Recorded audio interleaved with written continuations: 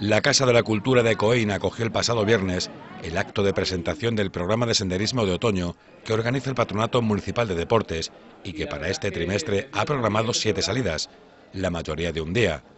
Como en ediciones anteriores, la expectación fue máxima y el Salón de Actos de la Casa de la Cultura registró un lleno absoluto para conocer las nuevas propuestas de rutas senderistas para este otoño 2015. Nuevamente volvemos a ofertar, eh, la mayoría de salidas son de, un solo día, tanto en sábado como en domingo, son siete las salidas que vamos a ofertar y de ellas una de las siete salidas es de fin de semana, mantenemos el formato de, fin de semana que tan buena acogida está teniendo durante estas últimas campañas. Última temporada pasada tuvimos que repetir la salida de fin de semana en dos ocasiones, ha sido la primera vez que nos ha pasado en estos ocho años de andadura y bueno, pues venimos esta vez yo creo un poco más preparados con el trabajo previo antes de, llegar aquí hoy porque la verdad es que cada año nos sorprende a la gente porque hay una afluencia muy grande, cada año son más las personas que, que vienen y que se interesan por el programa.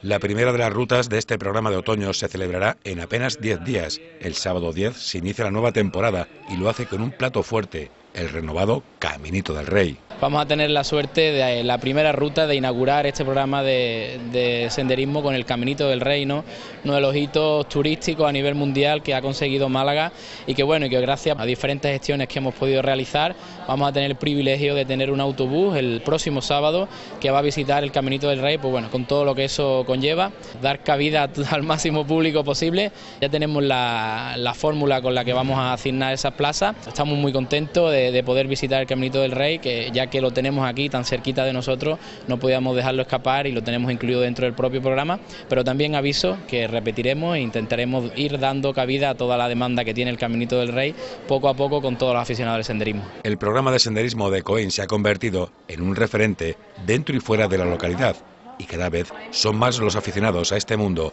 que se acercan a nuestro municipio para participar en las diferentes rutas propuestas. Son muchos los coínos, pero muchos las personas de la comarca y de la provincia que nos visitan. Tenemos estadísticas de, las poblaciones y son muchas las que Marbella, Málaga, Fuengirola, Torremolino, las personas que eligen el programa Senderismo Coín para, para hacer senderismo. ¿no? La verdad que eso es un logro muy importante, ¿no? un trabajo que hacemos aquí en Coín para dar cabida a la, afición del senderismo que tenemos en nuestra localidad. Está dando servicio a casi toda la provincia y bueno, y la verdad que hay muy buena relación entre todos los, participantes, incluso se están en, entrelazando lazos de amistad entre muchos senderistas de Coín y de otros municipios y esperemos que, les guste este nuevo programa que tenemos preparado, que la verdad que va a deparar muchas sorpresas y esperemos que les guste.